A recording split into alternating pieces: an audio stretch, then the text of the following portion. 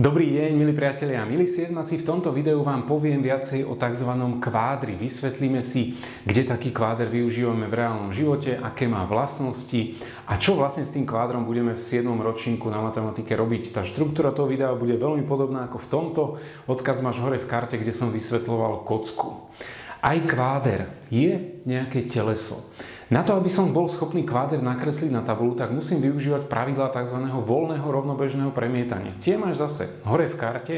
Tie pravidlá sú konkrétne tri. Prvé, že tú prednú stenu telesa rysujem podľa skutočných rozmerov. Druhé, že e, tie bočné hrany skrátim na polovicu a rysujem ich pod 45 stupňovým úhlom. A tretí, že neviditeľné hrany rysujem čiarkovanou čiarou.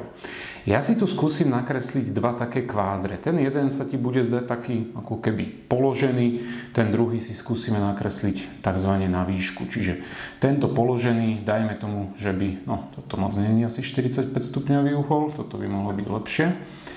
Ten prvý ti bude pripomínať možno nejaké také iné teleso, ten druhý zase nejaké iné a o všetkom sa porozprávame. Čiže tu mám nakreslený nejaký takýto prvý kváder, ktorý ako keby to. Tuto by som si nakreslil nejaký podobný, akurát, že ten kváder by bol takto na výšku postavený. Hej, kľudne môžem nakresliť nejako takto.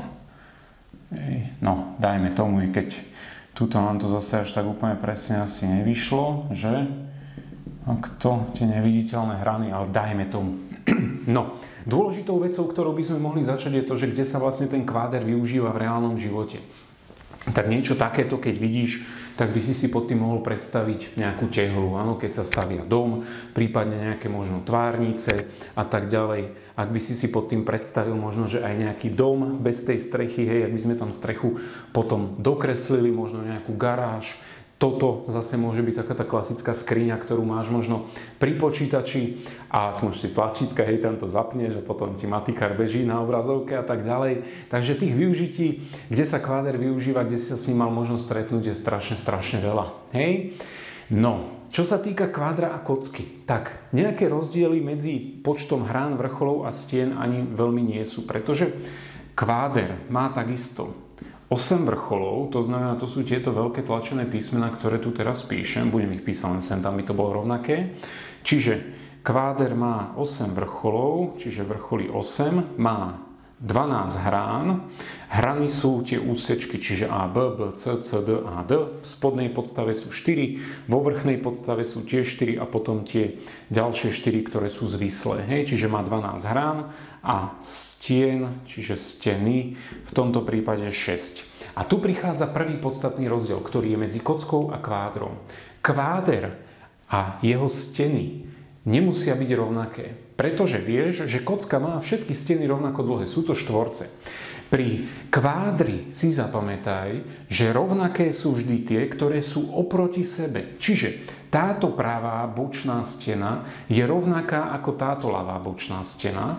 Táto predná ABFE je rovnaká ako tá zadná CDHG, a ktorú som zabudol, vrchnú a spodnú, že? Čiže EFGH je rovnaká ako ABCD. Čiže pri tom kvádri platí to, že rovnaké steny sú tie, ktoré sú oproti sebe. Čiže predná, zadná, spodná, horná, pravá a ľavá bočná. Hej, takže toto platí pri kvádri. Takisto pri tomto kvádri si môžem napísať, že dĺžka úsečky AB alebo úsečka AB, hrana AB je dĺžka, toto je šírka a CG je výška toho kvádra. Pokiaľ sa jedná napríklad o úlohy zamerané na bazén, tak namiesto slovíčka výška sa používa aj slovíčko hĺbka. To je podobné. Áno, dĺžka, šírka, výška alebo hĺbka. Záleží od toho, že aká tá úloha a na čo je zameraná. Využitie kvádra sme si hovorili.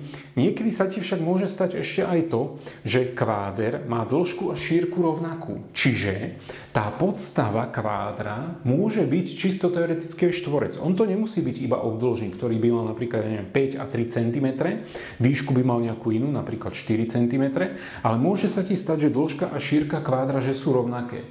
Vtedy však musím povedať to, že podstavou toho kvádra je štvorec. To sa kľudne môže stať, aj by si našiel určite nejaký príklad v reálnom živote, kde máš kváder a podstavou je štvorec. Takže kľudne môže byť. V rámci matematiky my sa budeme pri kvádri stretávať s takými dvomi typmi úloh. V prvej budeme počítať tzv. objem kvádra, to znamená, že koľko kvapaliny som schopný naliať do toho kvádra, prípadne, že tam mám nejaký bazén a koľko litrov sa tam zmestí a koľko percent objemu ešte prázdnych a tak ďalej, takže zapojíme do toho aj percenta. A ten druhý typ úloh bude zameraný na povrch kvádra, kedy ma bude zaujímať, koľko materiálu potrebujem na to, aby som ten kváder napríklad oblepil nejakou farbou alebo aby som vymaloval, vykachličkoval nejaký bazén a tak ďalej.